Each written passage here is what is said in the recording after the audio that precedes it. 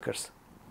There is one more typing and that is if we make those chromosomes once again uh, there is a rhesus type as well or um, there are actually more than one I think there are C, D, E and F there are 4. So A and B is this type and then C, D, E, F are the rhesus type but out of those the rhesus D type RH D type is significant because it is strong enough antigenic that it can cause transfusion reactions and especially these reactions become more important in case of the mother and fetal uh, differences if mother is negative and fetal fetus is positive that is where the problem can come. So we will talk about that as well. So 85 percent of the people are rhesus positive that means they have rhesus D gene expressing rhesus D molecules as well. So 85 percent of the people are RHD positive.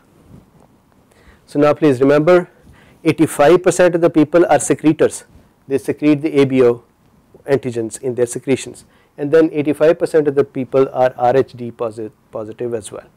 So keep this in mind and now let us look at the transfusion reactions or even before that first we will do how to do the blood group typing and then we will do how the transfusion reactions occur. Okay, so blood group typing. Let's say this is A. The blood group typing is done this way. Okay so one more thing before we go to the blood group typing is that what happens to the serum of a person who is a particular blood group? So let's look at that. Let's say we have we have blood this is the blood group blood group. Blood group means antigen present on the surface of the RBCs specifically in our case. And what happens to the blood serum of the same person? So think about yourself whatever is your blood group. Let's talk about what is on your RBC and what is in your serum. So I am blood group B. So let's start from B from me. So blood group B means the RBCs either have BO antigens these this and this the H antigen is called O right. So either have BO or two Bs that is what is the blood group B. Now what happens to the serum? What is in my serum? So my serum has anti anti A antibodies. This is very interesting why don't I have anti-B antibodies? Because I have the B as a self antigen, my immune system has been trained to ignore the B as an antigen. So, I will not make antibodies against my own uh, B antigen. But I do not have A antigen. If I had A antigen then I will be called blood group AB. So, I do not have A. Instead my serum has antibodies against A that is very interesting. So how did these antibodies come into me? When a baby is born, when I was born, my blood did not show anti-A antibodies. So these are not something that are the baby is capable of making right from the very first day. These are not something that came from mother. These are actually created as the baby is exposed to the antigens coming from bacteria and coming from the food he eats. What that means is this is a very significant uh, statement here. What that means is that whatever we eat that food contains the antigens A and B both. So whenever I eat something I may have in my food antigen A and B both. That antigen will be absorbed in my blood and our immune system will look at that antigen then in my case it is going to look at antigen B and say oh well that is fine it is part of my body. It would also look at the antigen A that got absorbed and say well this is a foreign antigen I am going to make an antibody against it. So my blood is going to start developing within 2 to 3 months my blood is going to start developing anti-A antibodies. Similarly the bacteria that colonize our gut these bacteria also have picked up the enzymes that create these these uh, genes sorry that create these antibody and antigens. So my bacteria in my gut are making B antigens and they are making A antigens and these antigens are coming into my blood. The only thing is once again immune system look at the B and says oh well that is fine this is part of the body but when it looks at A it says this is not part of the body and creates the anti-A antibodies. So remember this a person with the B blood group and B blood group means that the B antigen on the RBC person with the B blood group has always anti-A antibodies. Similarly and by always I mean he doesn't he or she doesn't have it by birth he or she doesn't have it for 2 to 3 months but after that they start developing. Is same way if the blood group is A that means RBCs are showing the antigen A on their surface and that would be either A and O or two A's mother and father. If the blood group is A RBCs have A antigen then the serum would have anti-B antigen antibodies. And why? Once again the same reason the food and the bacteria are always sending both A and B antigens in our body. Our body looks at A and says now oh well this is part of me. I am not going to make antibodies to it but it looks at B and says well I've, this is a foreign antigen and creates antibodies against that. So this is how these antibodies are produced. Now what happens with the blood group O? O blood group means on my RBC I only have two H antigens one from mother and one from father I do not have A and I do not have B. If that is the case then what happens is that in my blood serum I develop anti-A and I develop anti-B antibodies. So my serum has antibodies against both the antigens. Now here is an important thing to remember USMLE focuses on that and normally in your practice this should be also very important. If I am blood group O then my antibodies present are IgG type. This, this is how it is. In case of blood group O the antibodies produced in my body are anti uh, IgG type. In case of Ig, if I am A or B and I am making antibodies only against the other type, then these antibodies are IgM type. I hope you can understand what would happen. IgG, G looks like a pregnant belly, right? IgG, G crosses placenta and so it can go from mother to the to the fetus and so it can cause a reaction there right. So that is why this is very important and that is why this is going to be something that would be asked in the USMLE because blood transfusions and pregnancy is very important topic.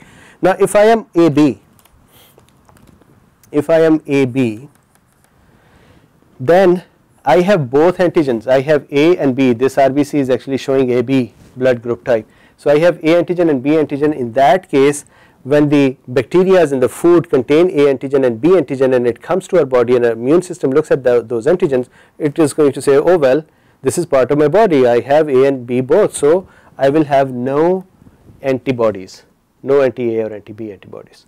So this is a very important thing to understand that whatever is the blood group, you should be able to tell right away what is in the serum of that person. Why is that important? We will see that. Now let us see one more thing these antibodies, these antibodies are called agglutinins, agglutinins. Why? What is agglutination? Agglutination is the clumping of the red blood cells. So when red blood cells are mixed with the antibodies that react with these antigens, these antigens are going to going to capture the red blood cells. So let's say here is the red blood cell, here is another red blood cell, another red blood cell has gotten the antigens on top of them. When the antibodies come IgM or IgG, these are going to connect like this and once these are connected all these red blood cells are going to clump up like a clump or aggregate and that is called agglutination. So clumping up of the red blood cells due to the antigens antibodies binding to the antigens on the surface is called agglutination. So of course these antibodies are called agglutinins they cause the agglutination and the antigens are called agglutin agglutinogens a agglutinogens. So agglutinogens and agglutinins. So instead of saying antigen and antibody these are the special names that are used in, in case of the blood transfusion topic. Okay, so now we understand what is in the on the surface of the blood cells and we understand what is in the serum. Now let us talk about how the type blood typing is done. So keep this in mind. So let us see how the blood typing is done. So the, the way the blood typing is done is a person's blood, so let us say we want to see what is Mobeen's blood type and blood type B. So let us say the person's blood is taken and those RBCs are put on one side of the slide. So this is my blood on one side and then this is my blood on the other side of the slide as well or two places. Then the blood is poured, so we drop on this blood anti-A serum and anti-B serum. What does that mean? All that means is that we are dropping antibodies to A and antibodies to B here. And what does that mean? Over here we have sent in IgM that would react with B antigen, this antigen. And over here we have sent IgM that would react with A antigen. Now let us say it is my blood and I am B, but at this time we did not know. What would happen is antibody B, so if I make one RBC out of this one, so here is the one RBC and that RBC is going to have B on it. So how is that B? This is the this is the galactose, this is galactose plus fucose and this is the N-acetyl glucose, right, the structure. So this is B. So I've gotten B here, so it may be B and B or B or H, there are two. So I'm just going to make BH so it is fast, N glucose and galactose and fucose. So this is the B, I have gotten B. Now what we sent in is we have sent in IgM that is going to cross react with B. So what would happen is IgM is going to come and capture or bind to this B. Then there is another RBC that is also showing the same B. This is another RBC and that is also showing the B. The other is going to bind, other end is going to bind there. So this is the IgM and similarly there is one more IgM that is going to do that here and so the result is many RBCs are going to become clumped together right and so we will say agglutination occurred a agglutination occurred on this side however on this side we have sent in antibody against A antigen and my blood cells are not showing any A antigen they only have B so this A antibody has no place to attach and so this side the blood is going to stay fluid and it is not going to clump up. So based on that they would say well Mobeen your blood group is B. Now let us see the other option if the B did not clump up and A became agglutinated then that would mean that the blood group is A. Blood group A means RBCs are showing the antigen A. And when we sent in the antibody against antigen A these would combine and the clumping would occur. If they both clumped that means I have antigen A and I have antigen B on my RBC surfaces. That means I am AB. If none of them clumped that means I do not have antigen A or antigen B. In that case what do I have? I have gotten the antigen O. Right? And antigen O does not show antigenicity so that would be O or empty right. So this is how the typing is done very simple process no, nothing magic in here. Uh, now once the typing is done let us talk about what happens during the transfusion. It is a very simple thing I have seen students sometimes getting confused uh, nothing to be confused about.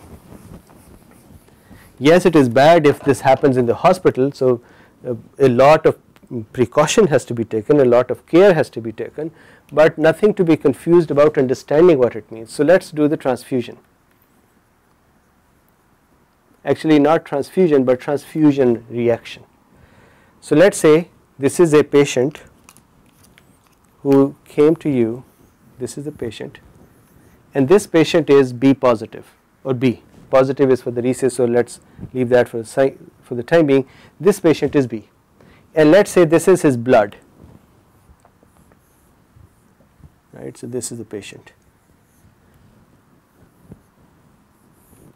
and here is his blood. The blood has gotten of course the RBCs and his RBC are going to show what B right. So this, these are the B antigens present on the RBC and what is his serum going to show? His serum is going to show anti A antibodies or agglutinins. So he has gotten anti-A antibodies in his serum. This is me exactly. So B antigens are present, so blood group is B and the serum of the patient is having anti-A antibodies.